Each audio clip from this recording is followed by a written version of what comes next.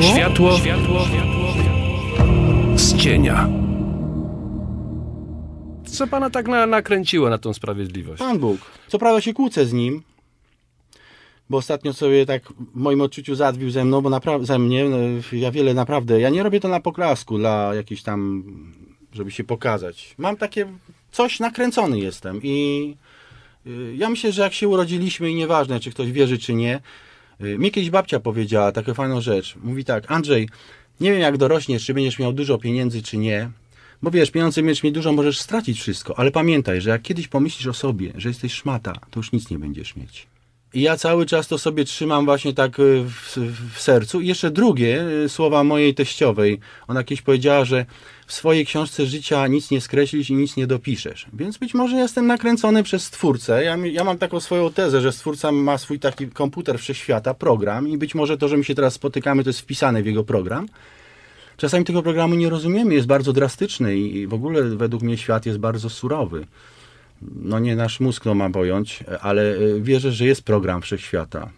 Stwórca, nawet myślę, że każdy listek na wietrze. Skoro my zrobiliśmy komputer, prawda, jest masa operacji w ciągu sekundy, miliony, to dlaczego Pan Bóg nie mógł zrobić takiego Pana i mnie, żebyśmy się tu spotkali i nie wiem, czy w tym programie będzie, że ta ambasada Unii Europejskiej będzie taką małą rewolucję, bo ja chcę zrobić małą rewolucję, żeby powiedzieć tak dosyć. Albo jest Unia Europejska na poważnie i tam wszyscy ludzie, albo, albo jest po prostu to fikcja. Moją jest ym, domeną, y, żeby po prostu, ym, żebyśmy my byli ludźmi i żeby to, co robimy, żeby to nie było fikcją. A tych, co są negatywni, po prostu odsuwać, piętnować. Bo Polak jest pasywny.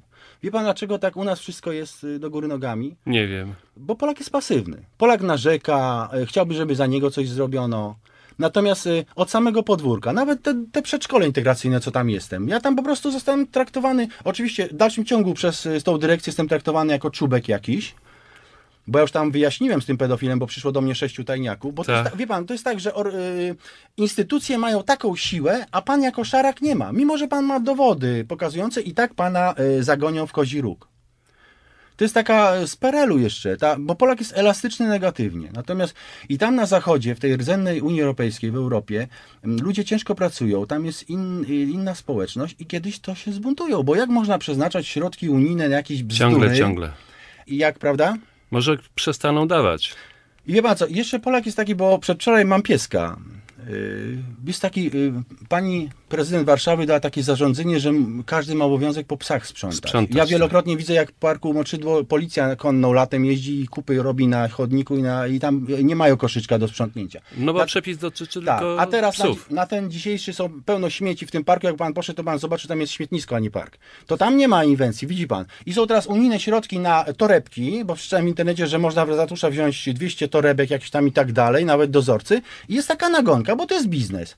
I wczoraj właśnie jedna pani do mnie skrzyknęła, że co, jak pan sprząta po sobie. A mówię, proszę pani, a jak pani zobaczy za 500 zł niklowaną w podwórzu śmietniczkę na kubki i tam już 4 miesiące leżą, y, to jest bomba biologiczna. Tak, bo te kubki tam ja obserwuję, leżą 4 miesiące w tych torebkach, bo gówno za przeproszeniem się na ziemi rozłoży, prawda? No Na tak, no a w a torebce tam w nie. torebce i to jest bomba biologiczna. I teraz tak, Polacy łypią coś z, z mediów, prawda, z telewizji, bo media właściwie pan zobaczy, jak się zwracają do nas. Ogłupiają nas. Tak, to- oni chcą, żeby Polak był głupi. Taki tuman. Ale Pan Bóg y, tak chyba wie, co robi, prawda? I ma, ma takich y, zadziorów w postaci mnie, czy, czy nawet, bo Pan też jest w pewnym sensie, no bo Pan jeżeli robi takie audycje, to Pan też o coś walczy. Bo jak pan nie walczył, to pan by zrobił jakąś rzeźbę, przymilił się jakoś, prawda, dostał pan dużo kasy i pan by sobie mieszkał i na wszystko kichał, prawda? Ale pan też o coś walczy, czyli mm, jesteśmy nakręceni, ja i pan.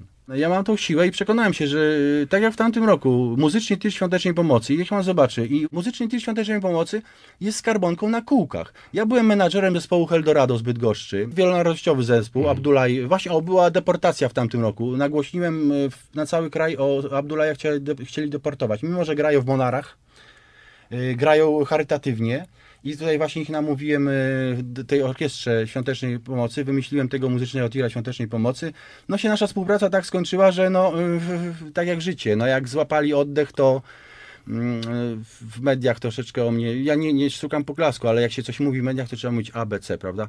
No ale to sprawa już zamknięta z Eldorado, natomiast ten muzyczny tir była świetna idea, bo ich pan, ich pan, nie wiem, czy pan wie, są sztaby w Świątecznej Orkiestrze Pomocy Owsiaka. Są sztaby w miastach, miasteczkach, ale w wioskach, w polach nie ma tych sztabów. I teraz taki tir jest mobilną skarbonką. I jak Owsiak zdobył, powiedzmy, te 37 czy 40 milionów, to ten tir mógłby zrobić jeszcze o dwa więcej. Bo wszędzie zajedzie, przez pola, rozumie pan? No tak. No i ten tyr ja zorganizowałem w ciągu pięciu dni. Konwój policyjny, y, e, firma Renex y, y, nam użyczyła tira i samochodu do przewozu. Firma Otto, która robi pojemniki na śmieci, wymyśliłem paka owsiaka. 240 litrów. Zabraliśmy tam pieniądze i wylądowaliśmy właśnie wieczorem, tylko pogoda była straszna, więc musieliśmy Ciechocinek ominąć. W Legionowie ostatni koncert w Piszeczepie tira. Wylądowaliśmy po licytacji serduszek, na wizji byliśmy, Jurek nam podziękował, zebraliśmy pieniądze. I to jest mobilna skarbonka i widzi pan, i Polak tego nie podchwyci. No i widzi pan, i wszystkie idee, ja dlatego chcę, e, chciałbym, żeby pobudzić Polaków, takich jak ja. Naprawdę, nasz kraj jest pięknym, jesteśmy zdolnym narodem i trzeba powiedzieć, trzeba powyrzucać tych ułomnych ludzi w białych kołnierzykach, nieudaczników, którzy na przykład remontują ulicy do, do tym z zabiórka. Wycinali drzewa w czasie już asfalt był położony, w ogóle wszystko była improwizacja. Na zakręcie miejsca parkingowe. Gdzie przy chodniku się ścieżkę rowerową robi, jak tam babinki z kościoła wychodzą po tron... Wie pan jak to jest. No. To wszystko zabiórka. Ale co? Oni wiedzą, że Polak jest pasywny i nawet jakby tam na środku do Otymy to i to już zrobili, to też by to stało. Bo niestety taki jest Polak. A taki jak ja to jest uważany albo jakiś zawadijaka, No albo tak, fiją tak, jakiś tak. świr i tak dalej.